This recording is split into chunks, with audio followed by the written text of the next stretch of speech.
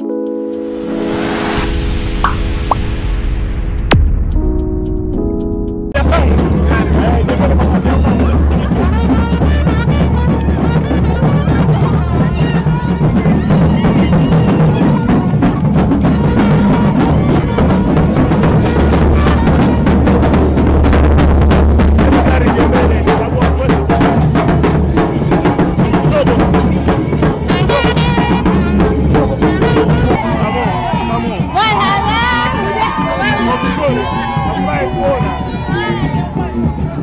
Shaydari Shaydari Shaydari Shaydari Shaydari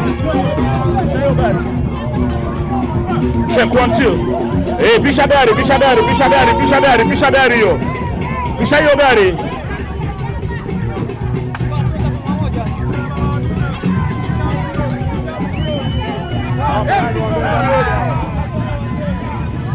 Tolembele.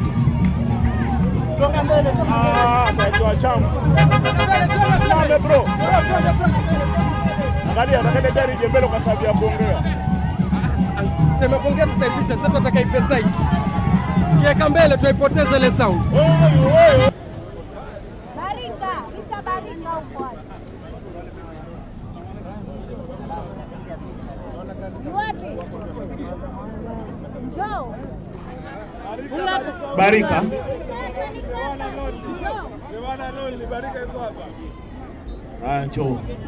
Boniface. We have uh, mother of an affected kids on Mogoka. Watoto wako mwenyewe Eh, watoto wako wameathirika pakubwa sana. tena wadogo. Sawa.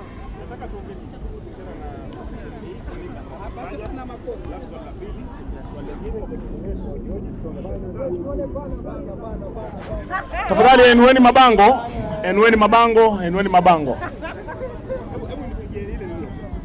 Haya, jamani, slogan yetu akatuipige ile slogan yetu. Nikisema Mombasa tunasema nini? Tunapinga mogoka. Are we ready? Are we ready? Mombasa. Mombasa. Nataka tupeleke mkono juu, watu wasikie vizuri. Hii ni message ambayo lazima ifike, sawa sawa. Mombasa. Mombasa. Mombasa. Mombasa. Mombasa. Mombasa. Tunapinga mogoka. Wapi kelele wa mama? Wewe. Mogoka, ora, Moboka Moboka Moboka Moboka Karibu.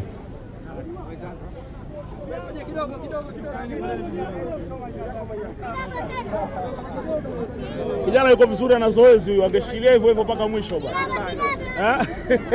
Msangi vipi bwana? Wanaku underestimate. Uko vizuri. Ah, ah, chef. Mpe mic bwana so. Mpe mic hiyo. Mpe mic daktari. Tusaidie kushika hizi. Shikia mama vizuri, maana niko nyuma yake. Eh, eh, sawa.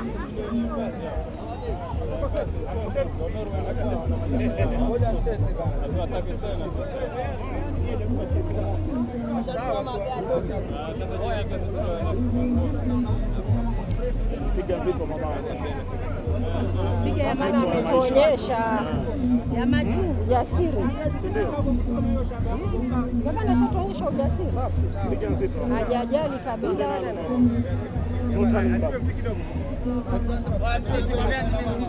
Halo mziki, tafadhali mziki, eka pause, eka pause mziki, hatujalipia rights.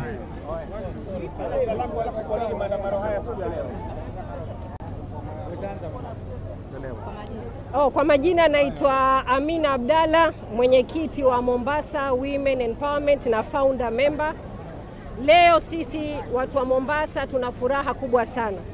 Tumeweza kuandamana kwa pamoja kuregesha shukran kwa gavana wetu wa Mombasa hii kwa kusimama kidete bila ya uoga, bila ya kutetemeshwa na kuweza kupinga mogoka.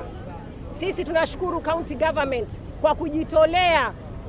Unaona, ameleta mfano mzuri sana Ukiangalia utakuta kwamba sehemu zingine bado watu wanaregarega, wanafikiria mambo, labda nitakosa kura, labda sijui nitakosa nini, lakini huyu amefikiria wananchi wake wa Mombasa. Sisi tunasema shukran na tuko pamoja na wewe. Kwa hivyo maandamano yetu ya leo ni ya kupinga mogokaa kabisa na kumwenua gavana wetu kwa kazi nzuri na kumwambia hili gavana, tuko pamoja na wewe watu wa Mombasa.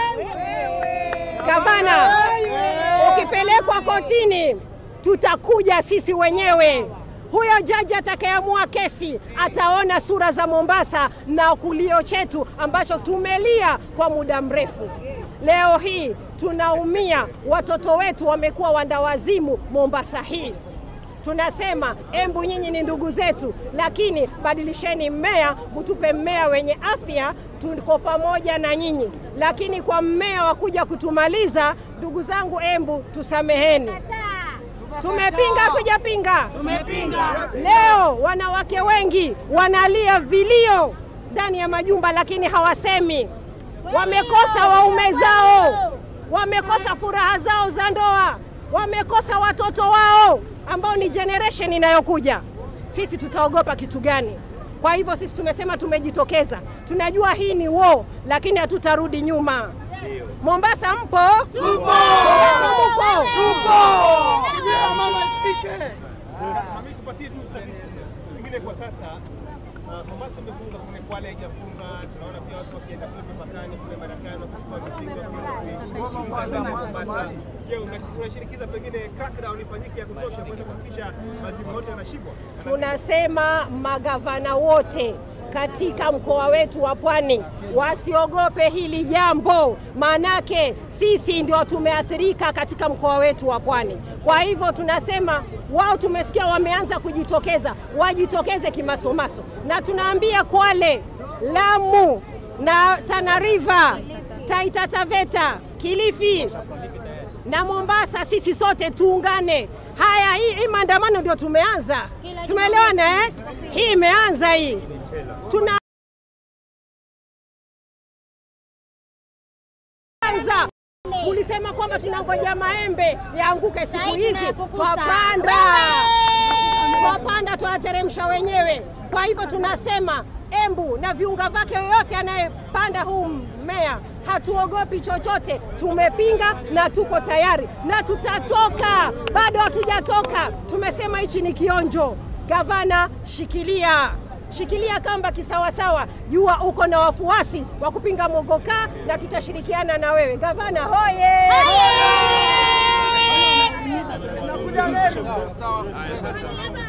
Naam, kwa majina anaitwa Dr. Jalal Ashraf. Mimi ni daktari hapa Mombasa. Naam.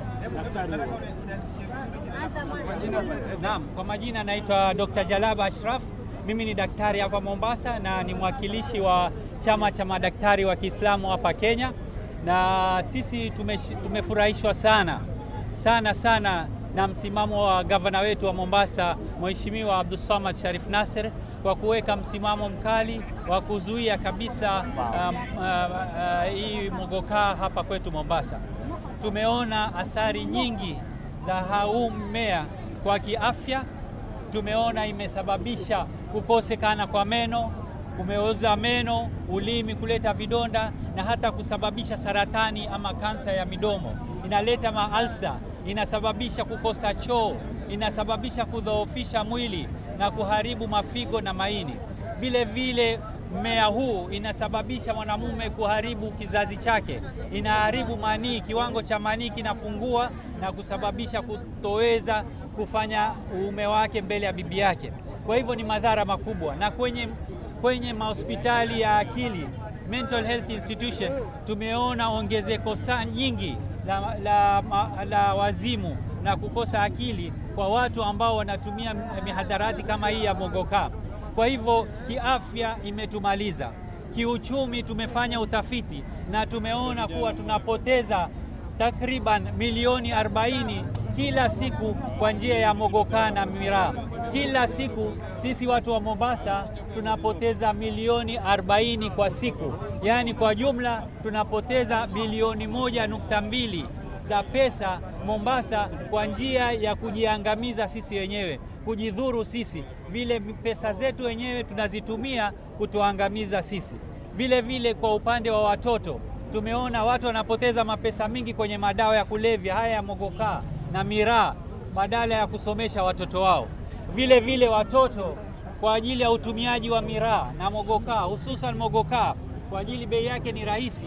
Watoto wanaenda wakitumia mogokaa na wanapotumia mogokaa hawawezi kusoma, hawawezi kuhudhuria shule, na ma, ndio maana mojawapo ya sababu ya performance yetu ya shule mjini Mombasa inazidi kudorora na kwenda chini. Kwa hivyo imetu affect kielimu, imetu affect kijamii, kutokamana na pesa nyingi wazee wanatumia kwa miraa na mogokaa, tunakosa kutumia pesa kwa ajili ya lishe pale nyumbani. Chakula hakipatikani kule nyumbani kwa ajili mtu ameenda akapoteza pesa zake kwenye miraa na mogokaa. Vile vile tunatumia mogokaa na miraa, inatufanya tutumie usiku mzima kukesha. Ukikesha asubuhi unakosa kazi, kwa hivyo unajiharibia kazi yako. Unakuta watu wengi wana, wanafutwa makazi ama wanakosa makazi kwa ajili ya kutumia miraa na mogokaa. Uchumi unazidi kuharibika, tunakosa pesa nyingi katika utumiaji wa kama hii.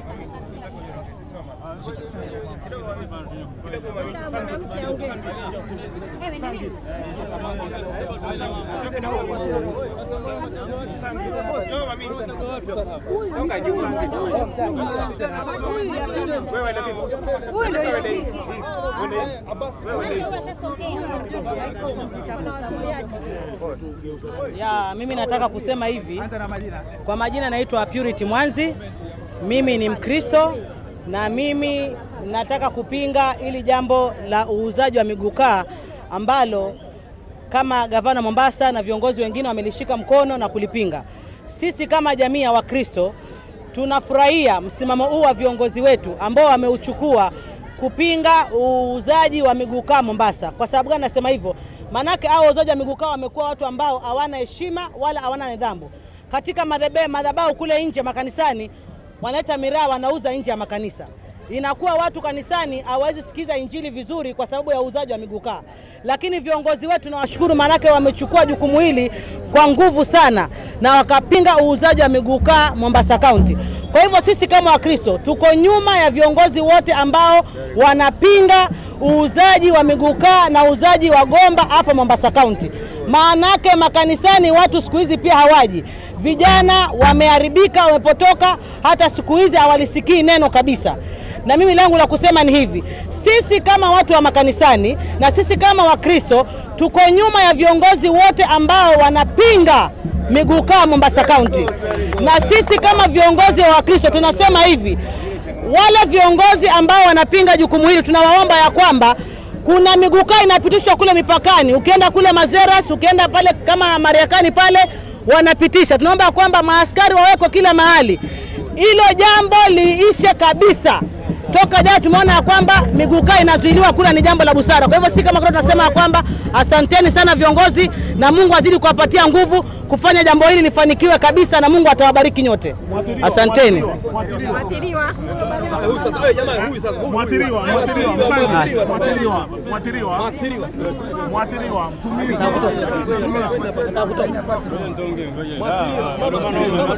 Mwanamke lazima aongee. Mimi mwathiriwa hapa, ngoja niongee, ngoja niongee mwana.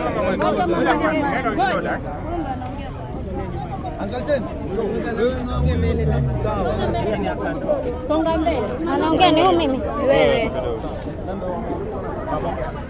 Assalamu alaikum. Kwa majina naitwa barka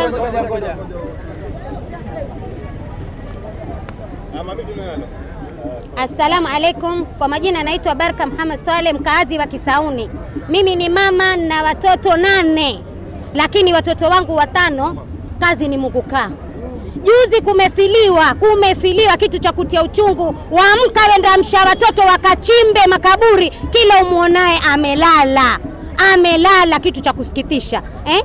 Ndani ya nyumba imekuwa watoto wa kiume badili asubuhi kuamka kwenda kutafuta riski zao, wao wanalala. Ikifika saa sita machai mawali wangu wapi? Kujitafutia imekuwa ni shida, nimeshida sana. Alafu sasa waume zetu ndani ya majumba, majukumu yamekuwa magumu sana. Mtu kwanza anafikiria anunue mugukaa, ndo baadaye aje atafute kula. Mtu kwanza afikiria anunue mugukaa, ndo baadaye aje amstareshe mke wake. Mtu kwanza afikiria anunue mugukaa, ndo baadaye atoe fizi ya mwanawe. Mtu kwanza afikiria anunue mugukaa. Twaelekea wapi ummati Muhammadi? Twaelekea wapi kama jamii? Twaelekea wapi kama mamama? Nataka wale wamama walosema watoto wao wanawasomesha kwa ajili ya mugukaa, leo twawataka hapa tuambie athari zetu za mugukaa. Hatutaki mugukaa Mombasa.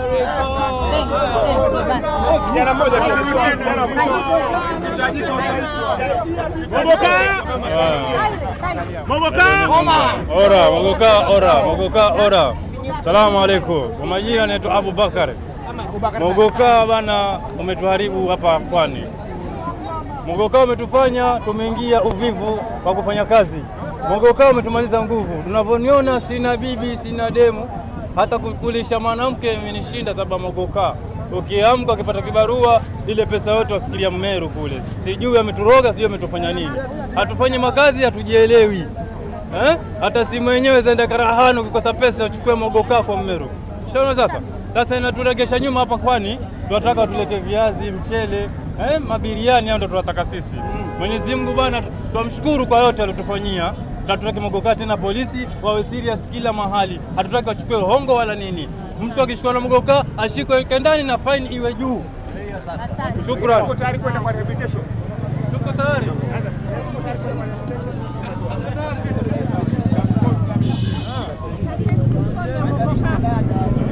Aliwacha huyu Huyu aliyewacha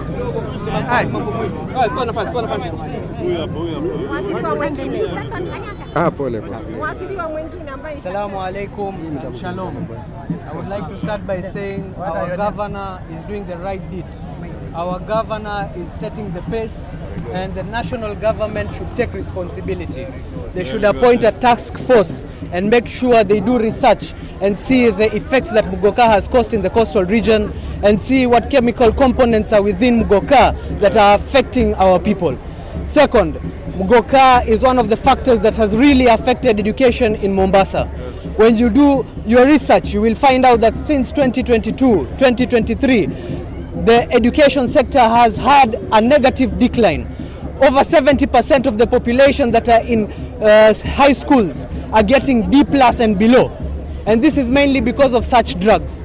We ask the national government to support this agenda and to follow suit, to follow 001, because this is the right move for our society. Let us take charge as a society as well. We as the people have come out to support our governor because he is doing the right deed. Na governor usichoke. Continue with that same pace. Asante. Asanteni sana, bismillah rahmani rahim. Na yangu ni kuhusu waathiriwa, yangu ni kuhusu waathiriwa wa mogoka na vile vile watumizi. Kitu ambacho ningependa jamii kwa sasa tutie maanani ni kwamba wale waathiriwa mogoka kwa sasa wako katika shida kubwa sana kiafya na kimatibabu. Vile vile watakuwa ni watu ambao wako na matatizo makubwa sana kwa sababu ya ukosefu wa mogoka. Lazima tuweze kuelewa kwamba tabia zao kwa sasa zitaweza kubadilika, watakuwa na hasira nyingi sana wao wana watumizi na wale ambao wamekuwa wakiuza vile vile watakuwa kwenye hasira kubwa sana kwa sababu ya hasara mabiashara yao. Tunaomba jamii ya watu wa Mombasa na watu wa Kilifi tuweze kuwaelewa ndugu zetu hawa walioathirika, wale wanaouza na wale waliokuwa wakiuziwa. Tuhakikishe kwamba wameathirika kwa biashara na wameathirika kwa kosa. Kwa, ufupi, kwa sasa jambo la hasira litakuwa liko juu sana vile vile jambo la kukosa pesa kwa wale wafanyabiashara litakuwa ni la muhimu sana. Kwa hivyo tunaomba tuwe na hadhari na hawa tusiwakosee, na vile vile jamii lazima isimame kuhakikisha kwamba wenye matatizo ya ziada yenye matatizo ya ziada watapeleka katika maabara mahospitali ya kaunti ambao tumeambiwa na gavana yako tayari kusaidiana nao. Vile vile mashirika ya kijamii ambao wanahusika na watu wa miadharati tuko chonjo kusaidiana na wale waathiriwa ambao watahitaji usaidizi. Asanteni sana, thank you.